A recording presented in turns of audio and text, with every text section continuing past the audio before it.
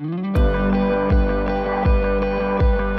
und willkommen zu Folge 22 von Binweg Bouldern und zu Teil 4 der Reihe mit Athleten der Boulder Bundesliga. Ich bin Juliane Fritz und ich habe beim Boulder Bundesliga Finale in Hamburg ein paar der Athleten zu kurzen Interviews getroffen und zwar auch Luisa Thomas. Sie hat dieses Jahr den vierten Platz im Finale gemacht.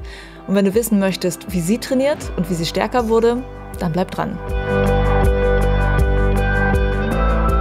Bevor es um Luisa geht, kurz noch was zu mir und meinem Podcast. Hinter Binweg Bouldern steckt eine Menge Spaß und auch eine ganze Menge Arbeit. Und ich habe beschlossen, nächstes Jahr noch mehr an diesem Projekt zu arbeiten und ich will einige Themen angehen, für die ich bisher einfach keine Zeit hatte.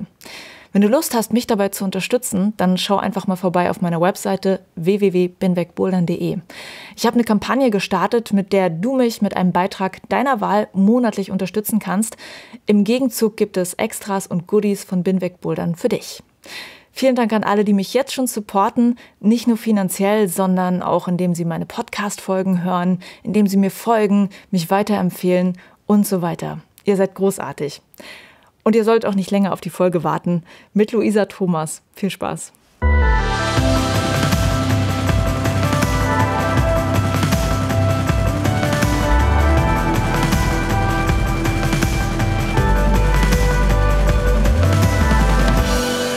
Hallo, ich bin die Luisa. Ich komme aus Ravensburg, bin 19 Jahre alt. Trainieren tue ich eigentlich meistens im Blöckle in der Boulderhalle in Ravensburg. Da arbeite ich auch so als Nebenjob, weil eigentlich bin ich Studentin und ich studiere Lehramt für Sekundarstufe 1, also fünfte bis zehnte Klasse mit den Fächern Mathe und Bio.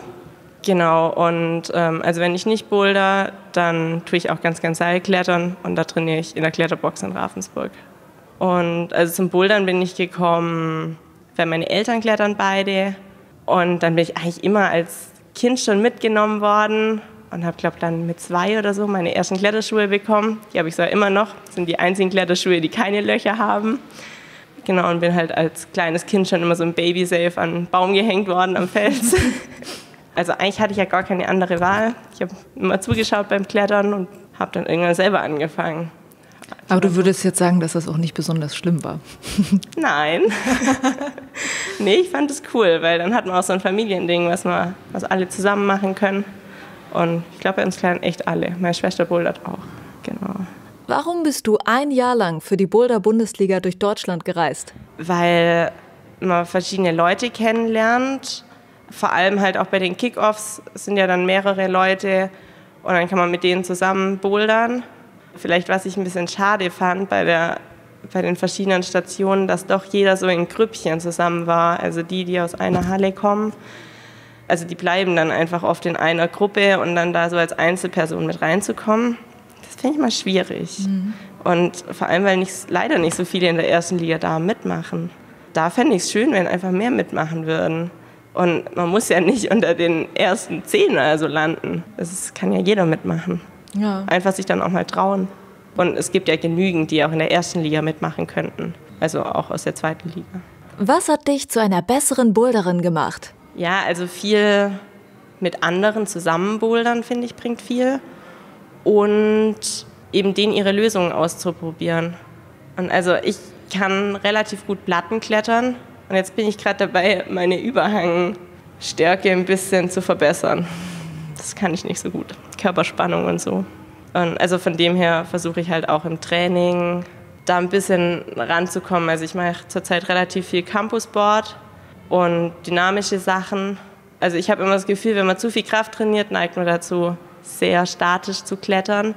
Und wenn man das dann aber wieder an der Wand versucht, ein bisschen dynamisch umzusetzen, dann bringt es was. Mhm. Was mich zum Beispiel persönlich besser gemacht hat, ist, ich habe ja diesen Tennisarm irgendwie dieses ja. Jahr gehabt und danach habe ich dann angefangen, mich mit Ausgleichstraining ein bisschen zu beschäftigen, um das Tennisarmproblem zu lösen. Habe dann aber dadurch gemerkt, dass ich besser geworden bin, dann wiederum im Bouldern so allgemein. Also ja. hattest du auch mal irgendwie sowas, wo du gemerkt hast, ey krass, du hast das jetzt gar nicht wirklich trainiert wegen dem Bouldern, aber es hat dich dann plötzlich besser gemacht? Naja, ich bin früher Kunstrad gefahren, ich glaube bis ich 15 war.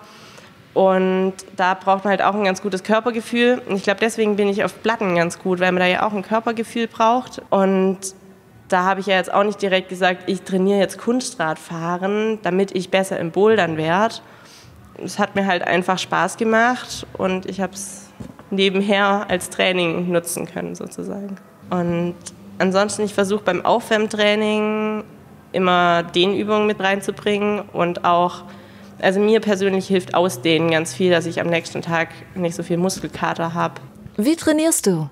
Ja, also meine Trainingsroutine sieht so aus, dass ich versuche, Krafttraining und Bouldern nicht an einem Tag zu machen, sondern zu trennen und auch eher nach, ich sag mal, Kraftregionen. Also ob ich jetzt eher was für die Schulter und für die Arme oder vielleicht Fingerkraft mache oder ob ich jetzt meine Sprungkraft trainiere.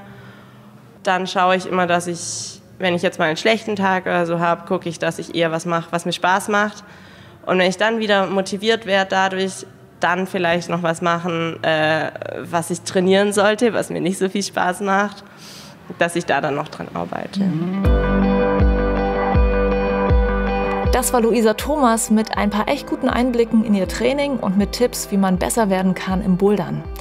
Ich habe nicht nur mit Luisa gesprochen, sondern mit noch mehr Athleten der Boulder-Bundesliga. Ein paar Folgen sind schon online und ein paar Folgen kommen noch. Also bleib einfach dran, abonnier kostenlos meinen Podcast, folg mir auf Instagram, Facebook oder Twitter und verpasst die nächste Folge nicht. Also bis dann, schön, dass du zugehört hast. Juliane mein Name und ich bin Vic Bouldern.